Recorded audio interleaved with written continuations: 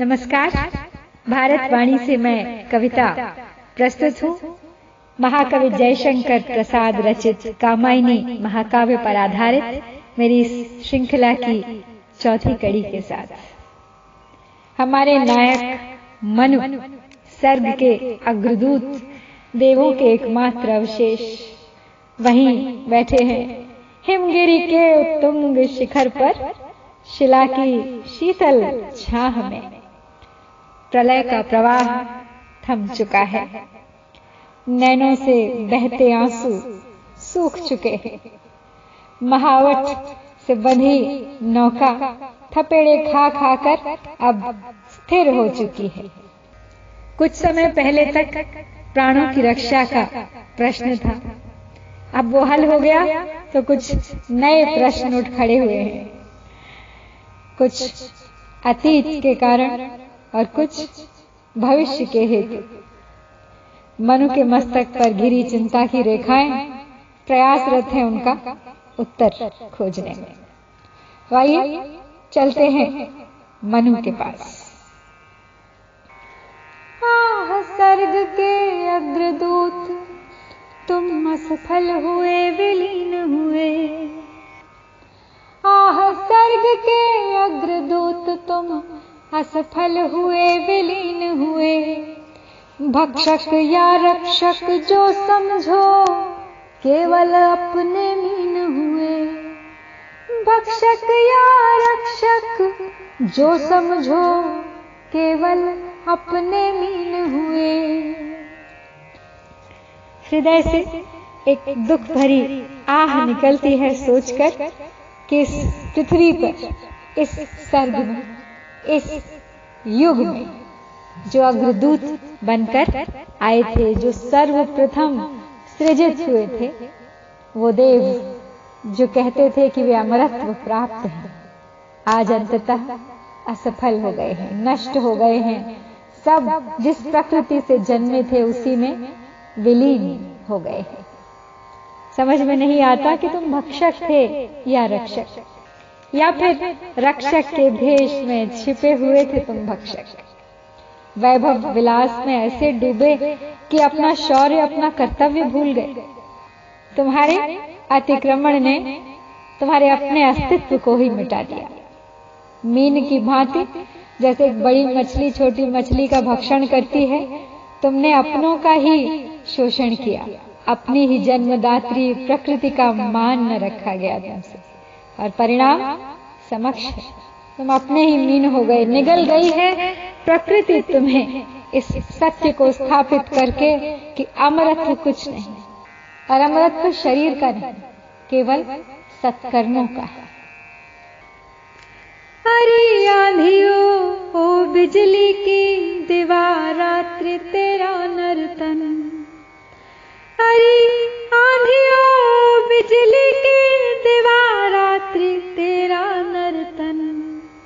उसी वासना की उपासना, वह तेरा प्रत्यावर्तन। उसी वासना की उपासना, वह तेरा प्रत्यावर्तन। आंधी, तूफ़ान, भीषण, वर्षा, बिजली, भूकंप और न जाने कितने तरह तरह के संकेत दिए थे प्रकृति ने। निरंतर लौट लौट कर चेताया था। पूर्व सूचना दी थी, लेकिन उसके बावजूद भी देवता सचेत नहीं हुए। सभी संकेतों की अनदेखी करते रहे और दिन रात अपनी वासना पूर्ति में, वैभव विलासिता में ही डूबे रहे और अंततः विनाश को प्राप्त हुए। मणिदीपों के अंधकार में अरे निराशा पूर्ण भविष्य। देव दंभ के महामेध में सब कुछ ही बन गया भविष्य मणिदीपों के अंधकार में अरे निराशा पूर्ण भविष्य। देव दंभ के महामेध में सब कुछ ही बन गया भविष्य अनगिनत दीपों की चमक, मणियों की चकाचौंध भी उनके उस अंधकार को रोक नहीं पाई, मिटा नहीं पाई। भविष्य दिशाहीन हो गया निराशा पूर्ण हो गया, खो गया, समाप्त हो गया। देवताओं के दम, अहंकार व व्यसन से जो महाविनाश हुआ, उस महायज्ञ में उनका सर्वस्व भविष्य बन गया। उस महामेध की अग्नि की भेंट चढ़ गया उनका सब कुछ। अरे अमरता के चमकीले पुतलो, तेरे ये जयनाद। काँप रहे हैं आज प्रतिध्वनि बनकर मानो दीन विषाद।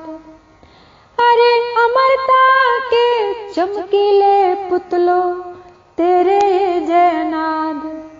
काँप रहे हैं आज प्रतिध्वन, बनकर मानो दीन विषाद अरे देवताओं, अरे अमरता के चमकीले पुतलो, ये प्रलय की हुंकार कुछ और नहीं है। प्रतिध्वनि है तुम्हारे उन्हीं जयनादों की जो कभी अमरत्व के घमंड में मतवाले होकर तुमने किए थे। तुम स्वयं को अमरता का प्रतीक अविजित समझते थे। लेकिन तुम देव कहाँ थे? तुम तो मात्र चमकीले पुतले थे। कृत्रिम बनावटी दिखावटी था तुम्हारा शौर्य देवत्व सदाचार। आंतरिक बल। आज देखो वो पुतले धराशायी हो चुके हैं। तुम्हारे जयनाद जो कभी समस्त ब्रह्मांड में गूंजा करते थे आज बदल चुके हैं दीन विषाद में। दया की भीख मांगते कंपन में, दुखमय क्रंदन में। प्रकृति रही दुर्जे, पराजित हम सब थे भूले मद में। भोले थे हाथ ते केवल सब विलासिता के नद में। प्रकृति रही दुर्जय पराजित हम सब थे भूले मद में। भोले थे हाँ तिरते केवल सब विलासिता के मद में। मन भी प्रतिनिधि तो उन्हीं देवों के हैं, इसीलिए स्वयं को भी इस पराजय का भागीदार मानते हुए कहते हैं कि हम भूल गए थे कि प्रकृति तो सदैव ही अपराजित रही है। मदमत हम जानकर भी अनजान बन भोले बन स्वच्छंद तैरते थे उस विलासिता के नद में। किसी का अंकुश स्वीकार्य नहीं था हमें। नहीं जानते थे हम कि एक दिन जब प्रकृति की सहनशीलता की सब सीमाएँ टूट जाएँगी। तब यही जल प्रलय बनकर हम पर टूटेगा। और बहा ले जाएगा अपने साथ हमारा सर्वस्व, हमारा अस्तित्व। वे सब डूबे, डूबा उनका विभव, बन गया परावा उमड़ रहा था देव सुखों पर, दुख जलधि का नाद अपार। वे सब डूबे, डूबा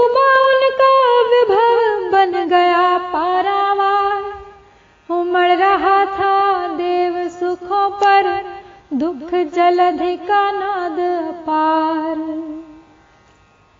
देवता स्वयं तो डूबे ही, लेकिन उनका सुख, ऐश्वर्य, वैभव सब कुछ उनके साथ ही प्रलय की भेंट चढ़ गया। पारावार यानी अथाह समुद्र ने ग्रस लिया सब, जिसका पार भी पाना असंभव है। सुख के समय जो जलध्वनि, जो कलनाद बड़े सुरीले प्रतीत होते थे, वही आज दुख के विषाद के नाद बन गए हैं। उनकी विलासिता की नदियाँ सब प्रलयंकारी समुद्र का रूप ले चुकी हैं अंतर्निहित कर चुकी हैं सब कुछ अपने भीतर। वह उन्मुक्त विलास हुआ क्या? स्वप्न रहा या छलना थी? देव सृष्टि की सुख विभावरी ताराओं की कलना थी। वह उन्मुक्त विलास हुआ क्या? स्वप्न रहा या छलना थी? देव सृष्टि की सुख विभावरी ताराओं की कलना थी। अब जब सोचते हैं मनु तो उन्हें लगता है कि वो देवों का उन्मुक्त विलास, स्वच्छंद, सुख, ऐश्वर्य, क्या सचमुच कभी था भी या नहीं? देव सृष्टि की तो छटा ही निराली थी। मानो असंख्य तारों की अद्भुत रचना से सजी सुख विभावरी हो। जगमगाती हुई रात्रि हो। लेकिन अब शंका होती है कि वह सब स्वप्न था या कल्पना, या मात्र भ्रम था, या फिर कोई छलावा। चलते थे सुरभित अंचल से जीवन के मधुमय निश्वास। कोलाहल में मुखरित होता देव जाति का सुख विश्वास। चलते थे सुरभित अंचल से जीवन के मधुमय निश्वास। कोलाहल में मुखरित होता देव जाति का सुख विश्वास। जहाँ चाहते थे निडर निर्भय विचरण करते थे देव। जहाँ से गुजर जाते थे वातावरण को सुरभित कर जाते थे महका देते थे। मानो उनका मधुमय जीवन ही उस सुगंधित सुरभि को बिखेर रहा। मानो वायु बनकर उन्हीं की श्वासें प्राण प्रवाहित कर रही हो सर्वत्र। उत्सव किसी उल्लासपूर्ण चहल पहल कोलाहल साज सज्जा। देव जाति के सुखमय जीवन और उनके उस विश्वास को इंगित करती थी कि वे सर्व शक्तिमान हैं, सर्वज्ञ हैं, अनश्वर हैं, अमर हैं। अजय। सुख, केवल सुख का वह संग्रह, केंद्रीभूत हुआ इतना। छाया पथ में नव तुषार का सघन मिलन होता जितना। सुख केवल सुख का वह संग्रह केंद्रीभूत हुआ इतना। छाया पथ में नव तुषार का सघन मिलन होता जितना। उनका वो सुख और उन सुखों का संग्रह इतना अधिक हो गया था। अति हो गई थी इतनी कि उसका पुनः विघटन तो अवश्यम भावी था। किसी से बांटना नहीं चाहते थे। किसी को देना नहीं चाहते थे। मानो, केवल उन्हीं का अधिकार था सुख समृद्धि पर।